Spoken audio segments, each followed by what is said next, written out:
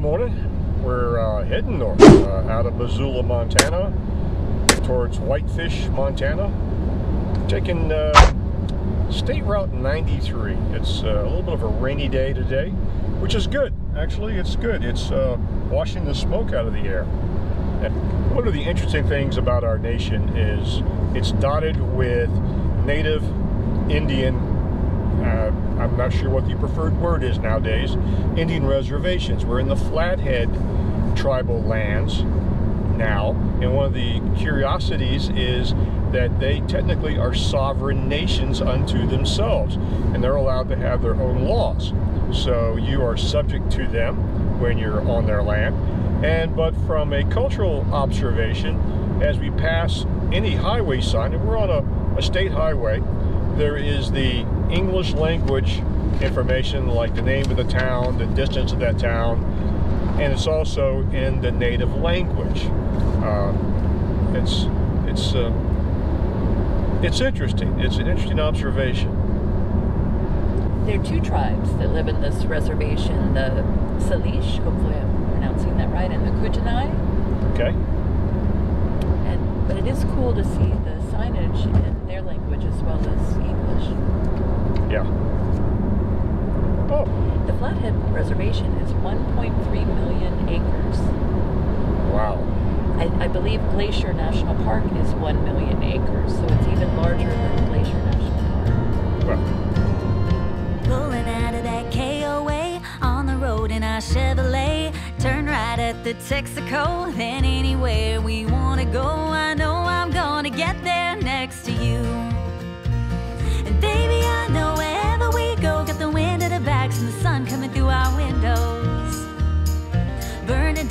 the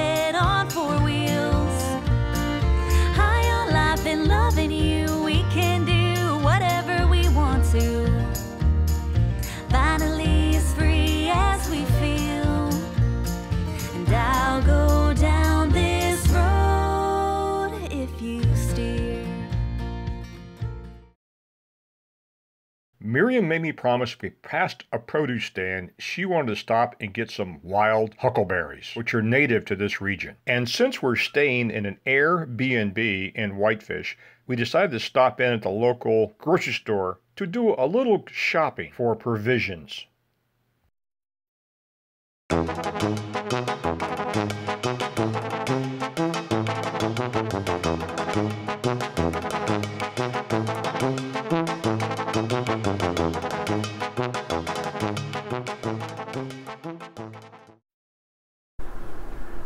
Well, good morning.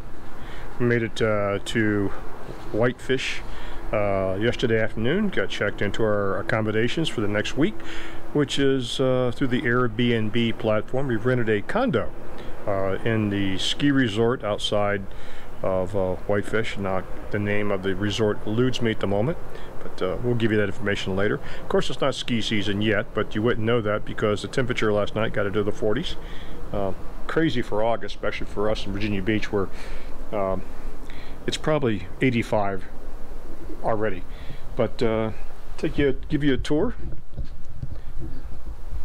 We're on the uh, second level, which is uh, a balcony area, and this is where most of the living occurs.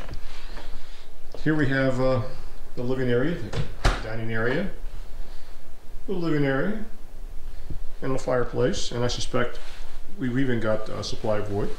I suspect we'll be using the fireplace uh, uh, throughout this trip.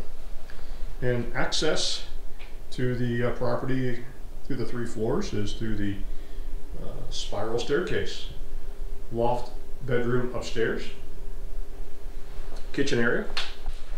One of the things I really like about the Airbnb platform, it comes equipped with, you know, your utensils and a lot of the sc- consumables. Now, this is not all the time, but uh, we've got a, you know, we've got the basics. We got some olive oil, uh, some baking powder, some oatmeal, coffee filters for the coffee pot, salt and pepper, that sort of thing.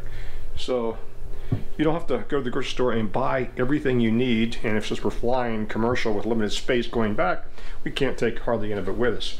Uh, we stopped and got some groceries yesterday afternoon from the local grocery store, and we're gonna we've found a closer grocery store to where we're at, just about uh, five miles away. We're gonna scope that out this morning. But anyway, I digress. Um, made my morning coffee with uh, my uh, AeroPress. I really, really like that. The problem is it's not doesn't produce the volume of coffee we'd like to drink.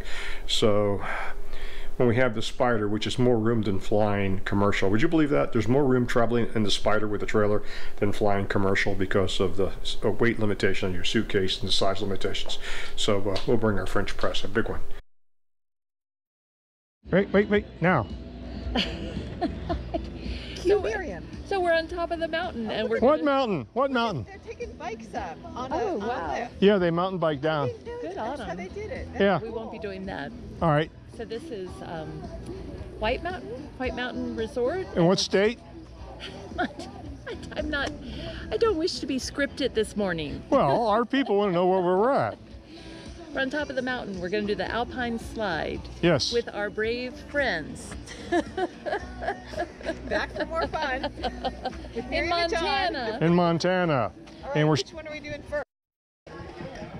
So we all decided we would try this downhill ride experience that we had seen other folks do on YouTube.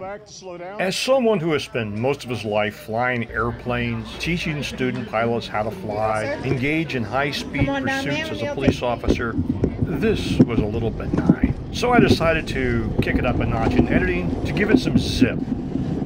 Much better.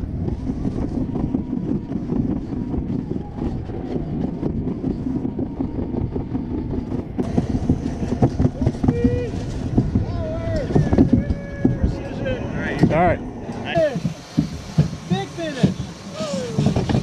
Excellent. Good job. He just won the gold medal.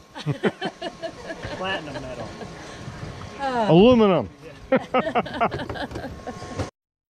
Even the chairlift was open, which gave a scenic ride to the top of the mountain, which had a gift shop and a pub.